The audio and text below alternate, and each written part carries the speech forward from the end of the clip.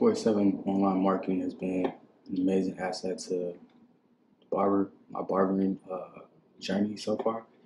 Uh, I just want to thank uh, Claude Bailey for uh, I mean, everything about it is just amazing. You know, communication, um, client uh, interactions, like the entire layout, the entire uh, integration is just absolutely I mean, stellar. Like, you know, I can't speak highly about it enough. You know, you customize, you know, how your clients receive notifications, uh, you know, payment in advance, um, just reviews, everything about it has really helped my uh, barbering journey, as I said so far. And um, just, I highly recommend it. You know, veteran barbers, you know, barbers just getting started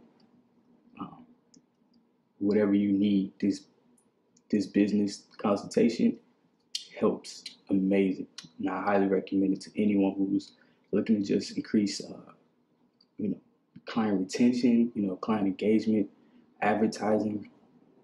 Everything about it is just amazing.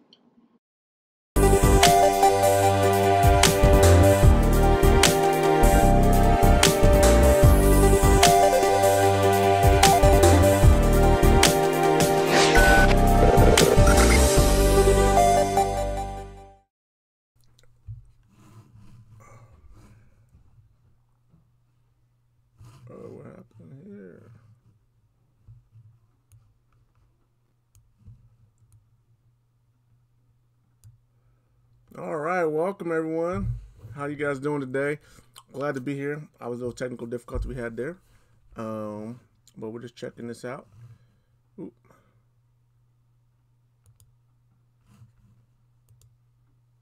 There we go. All right, now we're back to where I was supposed to be. Uh, sorry for that little mess up there, but hey, that's the things when you're doing this stuff live by yourself. Some things you might miss in the beginning. But hey, this is truly live. So thank you guys for being here at the How to Grow Your Your Barber Business in 90 Days. I want to share with share with you exactly how it can be done, and I'm and I want to promise you something here, guys. Um, um, in this meet in this in this in this live event, I'm really really going to deep dive and share with you um, exactly how it is done. Um, how I got my barbershop clients thus far, able to go from barely working to working 12 hour days, right? Um, to barely to start building up their clientele um, as little as 90 days. So we start getting them consistently and properly. So if you want to do a part time, you want to fill up your Fridays and Saturdays, right? Whatever it may be, Thursday, Friday, and Saturday, maybe that's what all you want to do. It works for that as well.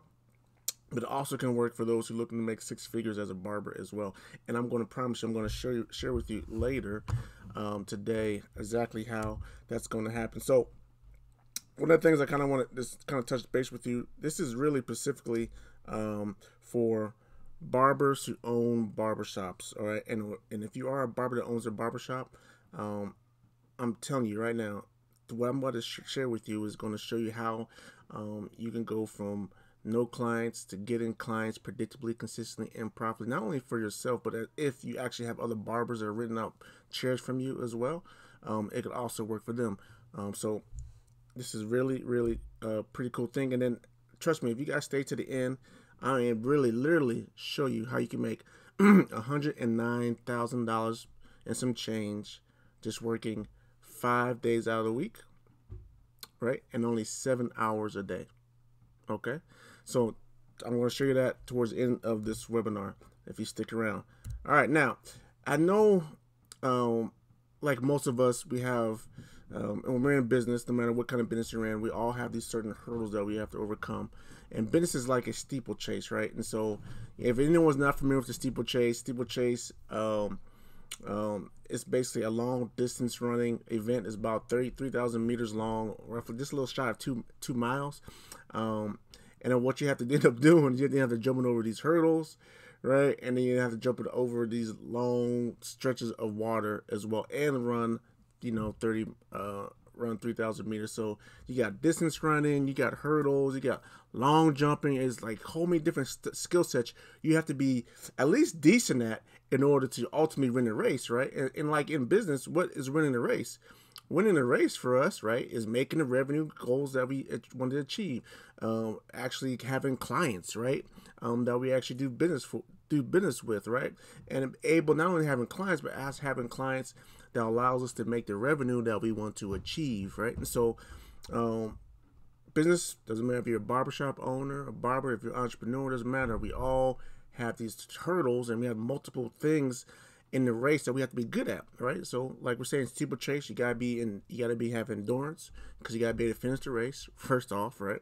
You gotta learn how to hurdle over the hurdles properly, right, and consistently, and you gotta learn how to long jump over the um over the, the water trench. And not only that, you also have to you also racing against other competitors. So we also have com- comp- competition um, even in business, right? There's other barbers out there that are doing the exact same thing that you're doing, right? So we don't have uh, a solo market, a, a, monopoly on haircuts, or monopoly on marketing, or monopoly on fitness, right? Or monopoly on cereal, or monopoly on TV shows, right? It doesn't matter uh, what it may be. We always have competition, and so we're fighting against all these different things. So I truly, truly understand that there's a lot of things that we as business owners have to overcome. And I'm going to share with you exactly what that's going to look like in this presentation that I'm sharing with you guys today. So now, now I know you've probably been through type of marketing webinars plenty of times before, and you heard it all um, probably before, right? As far as when it comes to marketing, um, and you probably heard some stuff, you tried it, didn't work, right? Or you heard some stuff didn't make quite, it was unclear to you, didn't make sense right? Whatever it may, whatever it may be, right? Um, you might have tried some stuff, it worked for a little bit, then it stopped working. That happened to me, right? All three of those things have happened to me, um, and so it was really, really confused. But what I'm going to share with you today is what the exact strategy I'm working that I'm going to share with you today is actually working right now. It's been working for a long time, for over 12 years now, and it's still working today. And I have refined it over 12 years to even perfect it even more. But what I'm going to show you today is actually working today and is not no generic marketing technique. It's really specific for barbers, especially if you're a barber shop owner. Okay. So is this for you? Like I said, it's for you. This this event, this this training here is going to be for you because if, especially if you are a barbershop owner because the marketing strategy that I'm sharing with you is specific to barbershop owners. Now, if you're just a barber written out, a booth rent from a barbershop owner, trust me, text your barbershop owner, tell them to come online because it's really going to be territorial. There's a certain strategy that I use that requires the barbershop owner's permission. So that's why I'm telling to barbershop owners. Okay. Now, I I kind of alluded to uh, later, and if, if you're on the chat, just kind of tell me what is your struggle, right? What is your struggle? as far as uh, barbering? What are some of your, your marketing frustrations that you may have uh, as far as uh, being a, a barbershop owner, um, getting clients or whatever? Now, I, I, can, I can guarantee your struggle is going to be no different than my struggles than when I got started off. Um, still no different, probably, because still, still some struggles that are there. Uh, struggles are always be there when we're in business, but, you know, they just get better. Uh, and still no different than the struggles that from my current um, clients, right? And so, you know, really what it comes down to, um, you know, really what I found out, like I kind of alluded to before, is that this marketing strategy sometimes becomes unclear, right? And then it's, it's plus there's so many. Just tell me, just tell me the chat. This this resonates with you. There's just so many different strategies that make it seem as if, um, that make it seem as if it's just, you know, I don't know, like overwhelmed, right? You're just overwhelmed. Like, I don't know if I should do social media. I don't know if I should do paid advertising. I don't know if I should do SEO. I don't know if I should do content marketing. I don't know if I should do YouTube videos. I don't know if I should do this. I don't know if I should do this. I don't know if I should do that. There's so much overwhelming me, right? So, I mean, it gets, gets so overwhelming. And so that, uh, uh, that is part of the struggle in the story. So even though you're going out there, you know, you have a, you have a service that you can do very well. You pass, you know, you got your certificate uh, from barber school and you, you know, you pass that. So now, you know, you can, you have confidence in cutting people's hair. But now the hardest part, which they don't really probably teach you a lot in barber school, is how to get that clientele. Let's talk about word of mouth, but things are changing fast, which leads me to my next struggle, right? Things in the marketing world change so fast because technology is changing extremely fast, extremely rapidly.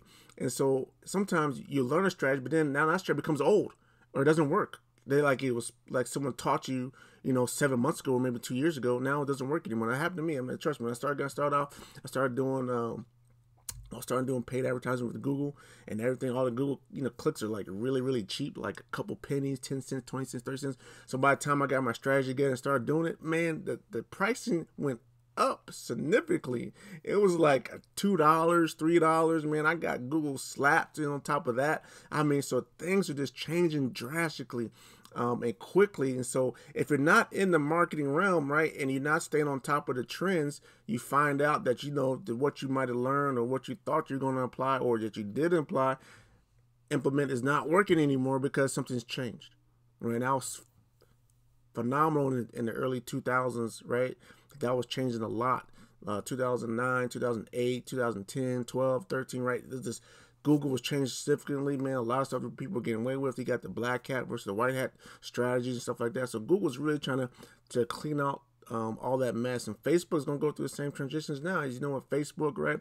Facebook is going to advertise on Facebook now. You know, Apple says, "Hey, you know, we got we got this privacy thing that we need to protect." Facebook, you guys are not uh, protecting people's data, so we got to implement these privacy things now. So now things have changed on the Facebook front right? And so I constantly, things are always changing. It's always so, you know, a year from now, you know, something might be working, but then again, it's not working, right?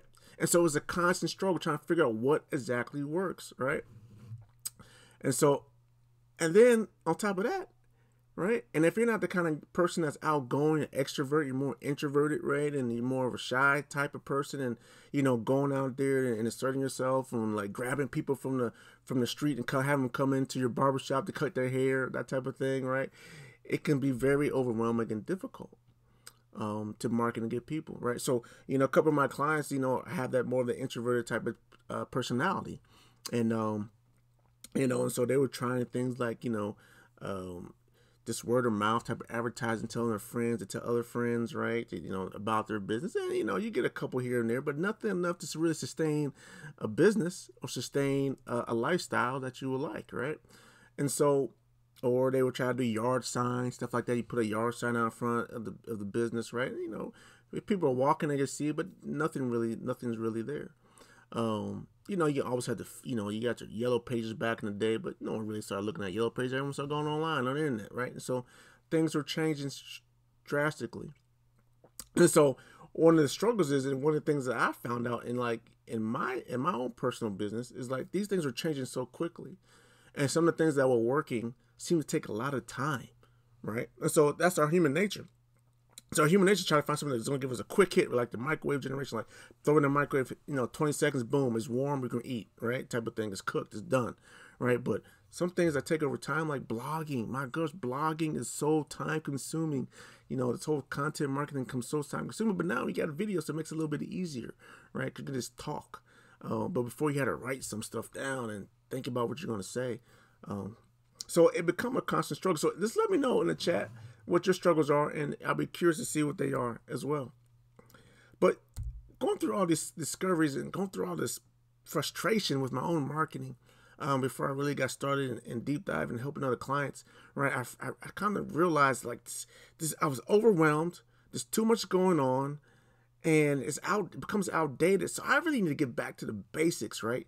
Get the best of the best. It still seems to be working. It seems to be um, uh, seems to be bulletproof to changes in time, bulletproof in technology, right? I need to know the foundational stuff that's really working. And I really need a system, a comprehensive system that gets everything together. So it dawned on me one day, and I show you here this picture of Bruce Lee. If you guys know Bruce Lee, the famous martial art, martial artist in the 70s and uh, you know mid 70s, early 80s, right? He was a a martial art, artist, and uh, he was a great martial artist. One of the best out there. Became very famous across the world uh, for his martial arts, and his martial arts that he that he that he created um, was called Jeet Kune Do. And uh, one of the cool things about Jeet Kune Do is, is, his philosophy is that he realized because he was a he was a martial artist right from China. He and he studied different types of martial artists, martial um, you know martial art forms right? And he had one form that he finally let, you know, kept hold on to, right? And in this picture, right, he's with, uh, if you guys ever seen the movie, uh, over here, if you ever seen the movie, here, here he is, right? The movie with Ip Man, Ip Man, right? So Ip Man was, you know, he had, he was famous for his style of uh, martial arts.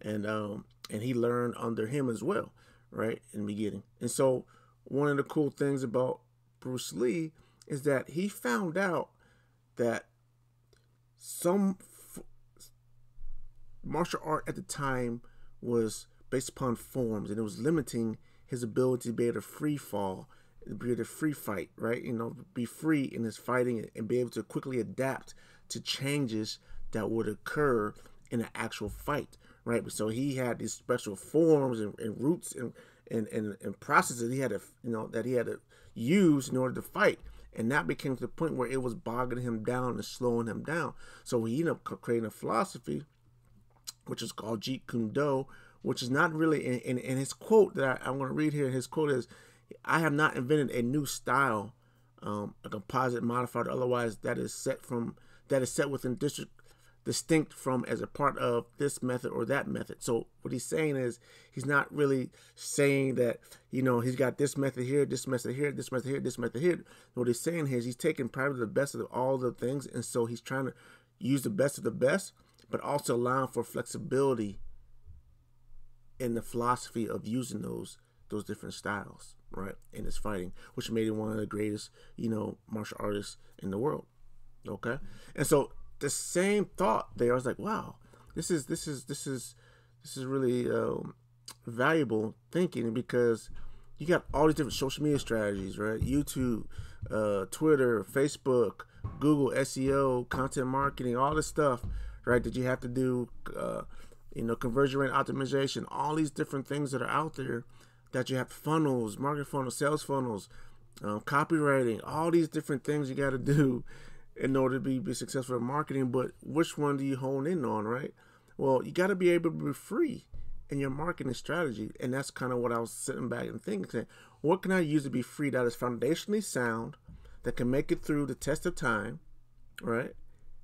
And that will allow us to be allow me and to be allowing me to be free from my my own business, but free from my clientele, is to be able to move around freely and adjust quickly to what's happening in the environment, right? Um, so that's so that's what I discovered, and then after some more thinking and philosophy, and, and meeting some other great uh, marketers, um, either Russell Brunson's one on one, and I got his book com streakers and stuff. Things started clicking for me. Um, I realized that you know I need a contextual system in order to make this thing to work. Not just one strategy, but a system that makes this thing work. That it allows you flexibility right? And so before I kind of go through that, I kind of want to share with you guys just real quick um, uh, what I call the seven figure diagnosis guide, right? Now, this is anyone going from zero dollars up to seven figures, you know, multi million dollars here that wants to be a you know a millionaire, that type of deal. And so, what is it? Where are you in this? Where are you in this journey? Right? There's a certain journey that you have to go through to go from zero up to seven figures right? And then where are you now? So I created this this illustration here to kind of share with you, and I'm going to kind of walk you through it. Um, I think it's pretty pretty important. But as you can see here, as you as you start from the bottom on here, and we're gonna start from the left hand side. And I kind of want you to look at this. I want you to think about where you're where you are in your journey. Okay, so you see here um, the diagnosis here, right?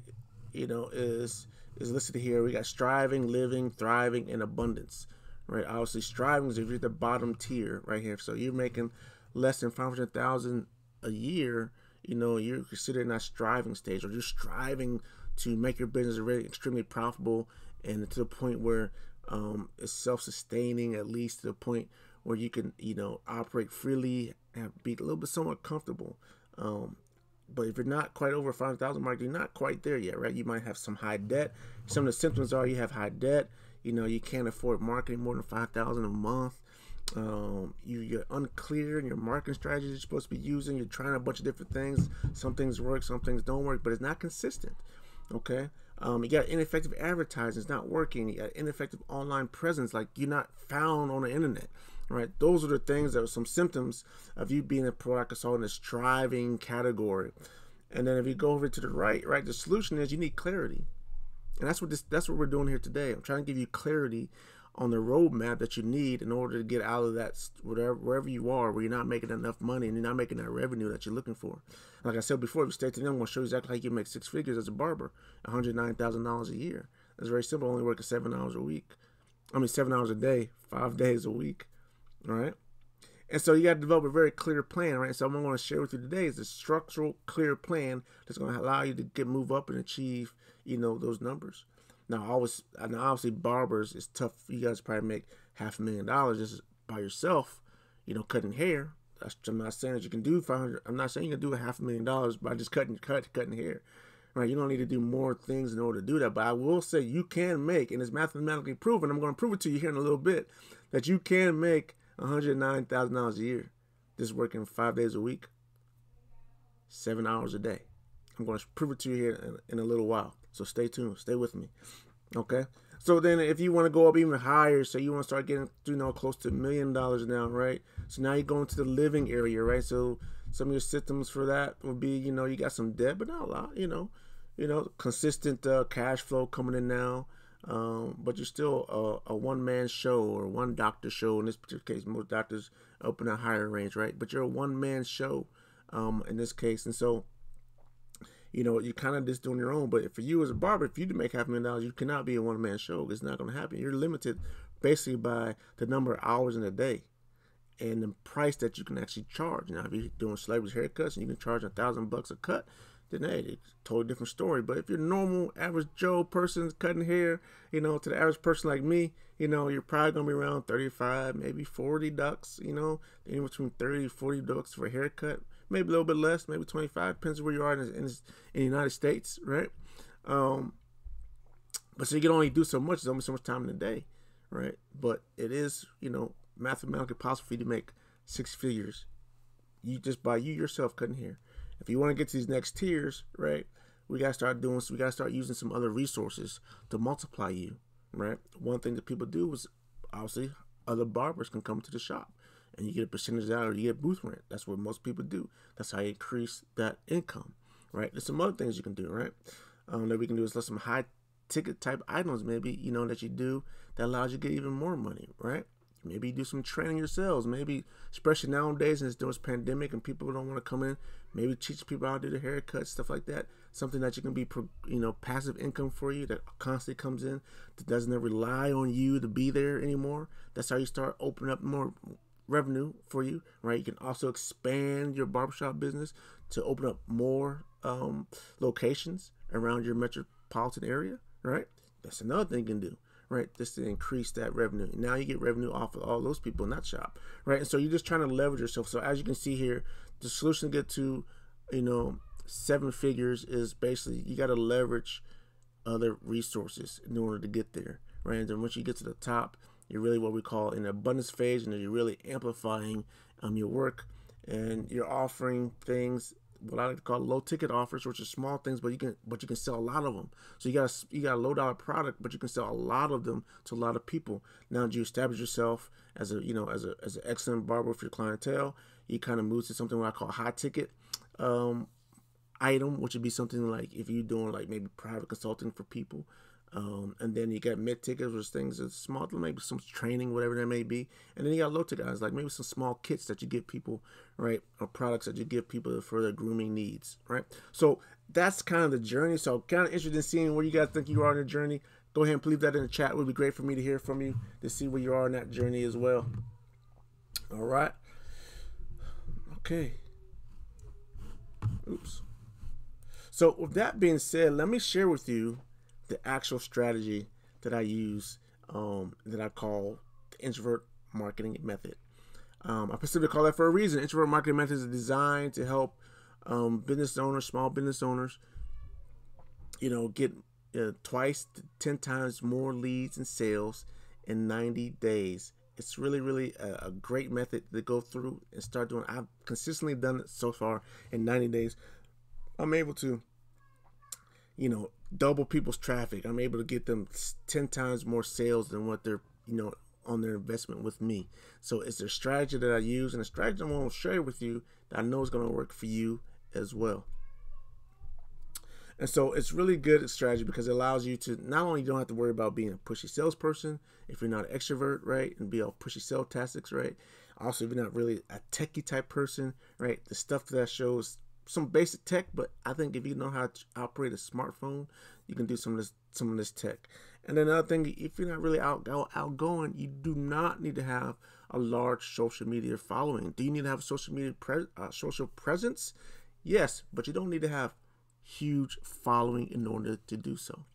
And I'm going to kind of walk you through the three main phases today. Are first phase of the plan of the introvert marketing method is called the plan, right? And then the second phase is your traffic, and then third phase is optimized. So really, how does this work? So when you're in the planning phase, right, it's really very key that you have to be very very clear about what you want, about what you want to get out of this business. What are your goals? Some people don't like to hear, oh, here we go again, this goal setting thing. But trust me, remember I told you about the marketing stuff that, you know, seems to be unclear It's not working because you know why you're focusing on a tactic, but you don't have your reason why, your motivation why you want to do it. And so it doesn't work. You have to understand your reason why you want to do something in order to get it to work. So if you have a plan, you have to plan. It's a good old saying if you if you uh, fail to plan, you fail to succeed, right? And so uh, if you have a plan, even if it's not a great plan, but you have a plan. At least you have a, a, a crisp, crystal clear idea of what you want from your business, specifically financially. What do you want to make from your business, right? So I told you, I'm telling you guys, you can financially, seriously, you as one solo barber can make $109,000 a year just from cutting hair. I'm going to share with you that in a little bit. But it's true. You got to have a plan what you want. Okay. If you want to make more than that, okay, what's the plan? How are you going to get there? Right. And so not only you have to have a plan, but you also got to understand who your clientele is going to be. Who do you who do you want to cut? What you know who who what type of hairstyle you enjoy creating? What type of hair do you enjoy creating? Curly hair, straight hair? What I mean, I don't know, right? So what you have to be clear on that because that's the kind of people that you want to attract, right? Most marketing fails because your marketing is trying to uh, please everybody, right? every male i'm a barber so i'm gonna cut any male hair or any any person's hair that lives in you know my a radius of 20 miles from my shop right it doesn't work that way. You can't be that general you have to be purposeful and in, in who you want to work with. You got to somewhat bogged down to the niche right? And, and that's how you become um, you know something that you know people are attracted to because you're different than everyone else. And you've proven that to be different right? People are also attracted to people that, that they can feel like they know, like, and trust.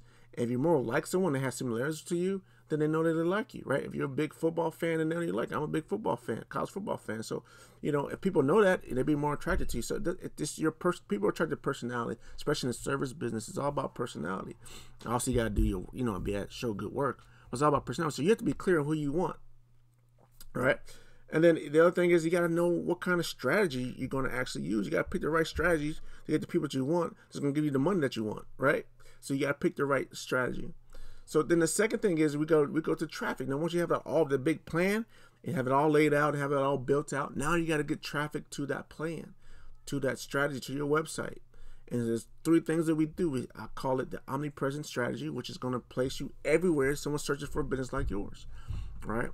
And the key thing is, well, Claude, you just said I gotta be specific on where I'm, I'm, I'm marketing to. But yes, you're specific in your marketing message, but not on where you position yourself because you have we have no clue exactly where everyone's going to be located. So you can position yourself everywhere, and then your marketing message is going to fine tune those people to your funnel. Okay, that's how you're going to get the highly qualified clientele that you want already, and you don't have to worry about dealing with tire kickers or people that are not going to be suited for your type of you know haircut style. And then the third thing I like, to, I mean, the, the other second part of the traffic strategy is what I call oracle positioning. And this is where you're going to position yourself as the authority to attract highly qualified um, clientele to you that are eager to purchase your service or make appointments with you online. And it's a very simple way that we do this, right? You just got to show people that you know how to cut hair. You don't have to worry about blogging a whole bunch, but just show people examples of your final haircut. All right. And then the third and the sixth, the third thing in this traffic strategy is what we'd like to do is now we want to multiply and accelerate our marketing, our traffic by advertising. Advertising should be used to accelerate. You need to know, understand your numbers before you start paying for traffic. You gotta make sure your funnel is working. You gotta make sure your strategy is working somewhat before you start paying for traffic. Now, you if you have a bunch of money to, to waste, then you can jump right in and pay for traffic. But I specifically put advertising last in the traffic strategy because once you have your foundation and where you are present everywhere, people are looking for you, and it's plus it's really really simple and low tech to do. Doesn't take a brain. All you do is click a one button, and then you know once you start positioning yourself everywhere on the net, and then you know you start giving people proof that you know what you're doing all over the internet as well. And then when you start advertising and people see your ad, and then naturally what they want to go do is do some dig, do some more digging, some more research on you. And then what they're going to, they find nothing else on you, then they're going to be, they're not going to really trust you. All right, it's going to be hard for them to trust you. But if they find more stuff about you everywhere, then they're like, oh, this guy's, this guy's legit, right? This person's legit, so I, I want to sign up for him. So, and you know, I'd be thinking, okay, Claude, you know, it sounds great, but what about when I'm starting out? Well, that's why we we, we do omnipresence first. That's the going to get your name and information out there everywhere, right? That's the key step. Second step is start positioning all your proof out there that you know what you're doing, right? That's going to take time to build up, but that's okay. And then once that's built up enough, and you know organically once that's built up enough, because you're going to start getting this organic traffic that's consistently flowing through. Now, if you want to take it to the next level, that's when we start advertising our best content that's out there. All right. So then the third phase of the introvert marketing method is what we call is what I call optimizer. So optimizing is now I'm going to optimize our strategy. We're going to identify the weak link in our strategy, the, the, the, the steps in our strategy are not converting the best to give us the results that we want. And once we identify that weak area in our funnel, right, as a, as a process that we use to do that, once we identify, then we're able to go into what I like to do in an experiment. And so now we do an experiment. We don't just okay. We identify the error, so let's just change everything. No, we don't just change our website page, right? We do make changes, but we, what we do is we copy it, and what we do is we split test. So we have two versions of our web page now. We have the original version, and then we have the new version of the what we copied and changed, and then we send traffic to both of those those pages, and we find out which one converts better, right? So we let that run for a little while, and then once we got statistical significance, and then we pick the winner, and then we if the new page is better than the old page, now we switch everything to the new page, right? So then that becomes a winner, and that's what we implement. And certain strategy method you do that. Now this is a whole cool part, man. I remember Bruce Lee giving you flexibility and that type of thing. This is where the flexibility comes in. A lot of marketing strategies forget about this optimization stage because now they're rigid. They think I did something, now I'm done. But a lot of times, no, you're not done. You have to constantly continue to improve. And there's a method of ways you can find out what you're doing wrong and you can change without starting all over from scratch especially if you're following this nine step process that I have called introvert marketing method. Okay. So that's I mean that is what we that is that is the outline of the introvert marketing method. So now what I want to do for you is I actually want to show you and share with you as I promised, right? I want to show you exactly how you can make $109,000 annually as a barber. All right, it's pretty simple. So in order to do this, we're going to go to the good old calculator. All right. And so on this calculator, I'm going to share with you exactly how you can make $109,000, $109,000, $500.30. It is working only seven hours a day, five days a week. Now, go ahead and get your calculator out there uh, as well if you like. Uh, you can share that with me. And uh, one of the things that we're going to do here is um, I want you to write down some numbers. and I'll walk you through it. So when you have a pencil and paper, let me know in the chat. Really appreciate it. And then we'll go ahead and jump in. So if you're not making over six figures right now, I ain't saying you gotta make 200,000. I'm talking about just low six figures, like barely breaking $100,000. If you're not there, then this is gonna be for you, and I want you to write this stuff down. All right, so write down $109,500.30 at the top of your page. And then I want you to write underneath that. I want you to write, write working seven hours a day and then I want you to work working only five days a week. So you get two days off. You only work seven hours. So if you want to do eight, you know, you know, you got seven hours of actual working, cutting hair, and then you got an hour, whatever, break time, whatever you want to do with it. Okay. Um, now, in order to make this amount of money, you got to be able to cut at least two heads in one hour. Can you guys do that? Let me know in the chat. Can you cut two heads in one hour? So if you can cut two heads in one hour, Then I want what I want you to do is um say yes in the chat. Then I want you to say, okay, now I'm assuming the average haircut price is around thirty dollars. I think it might be a little bit on the low side, but around thirty dollars, especially now with the COVID interest rates flying, interest rates going up. About thirty dollars probably what the average, you know, rate for a haircut, you know, going right now. So at thirty dollars a haircut, right? So let's go here. Go to my calculator. So we got thirty dollars a haircut. All right. So, but no, before that, so third, before we do that, let me go back to my. So we got thirty dollars haircut. So now, so now what we're gonna need to do is need to figure out how many clients you need, how many clients you can cut in one day. So it's real simple, right? It's just seven. So you work seven hours a week, and you got two cuts and cut, uh, two cuts in one hour, right? So that's fourteen clients a day that you need to cut to make one hundred and nine thousand, one hundred nine thousand five hundred dollars thirty cents, right? Fourteen clients a day. All right. That seems reasonable. Let me know in the chat. Let me know in the chat. That seems reasonable. All right, now, so now what we're gonna do is take that 14 clients a day and multiply that by 30. Thirty dollars, which is thirty dollars, was the average price you charge, right? So that means now you're making four hundred twenty dollars a day. So you make four hundred twenty dollars a day in the chat. So let me know if you're making four hundred twenty dollars a day right now in the chat every day, five days a week. All right, now, so we say we're gonna work five days a week.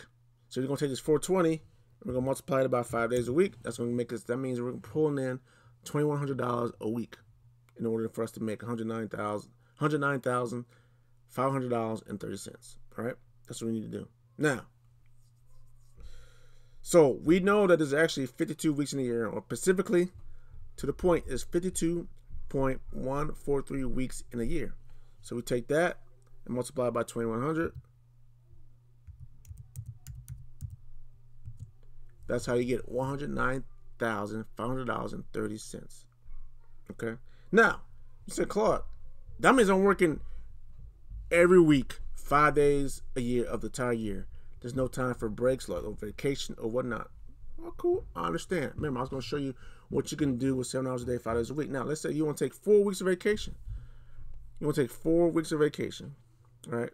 So we remember that number, right? So you got four weeks because now we're going to subtract four weeks. So all we're gonna do is subtract hundred nine thousand five hundred dollars thirty cents from twenty one hundred dollars times four, because now you're lose eighty four hundred dollars. So you're gonna give up. So you going on vacation for four weeks is basically costing you eighty four hundred dollars, right? But that might be beneficial for you because you need to break, spend time with family, friends, you know, do whatever your, your hobbies are, right? And so what do you end up with? You still end up with $101,000. $101,000, $100 and 30 cents. You're still making six figures. Okay, you see what I'm saying? So if you could if you think that you can go ahead and do seven, 14 cuts a day, then that's where you are right there. All right. So that's the math. That's how you can make six figures. So it is very possible. If you're not making six figures, guys, I really want to help you and show you exactly how we can do it for you. Uh, really, all I need you to do is very simple. If you want me to show you that, I have a free discovery call for you um, that we can go through and I can kind of show you, understand where your business is at. Uh, it's about 50, 20 minutes free consultation.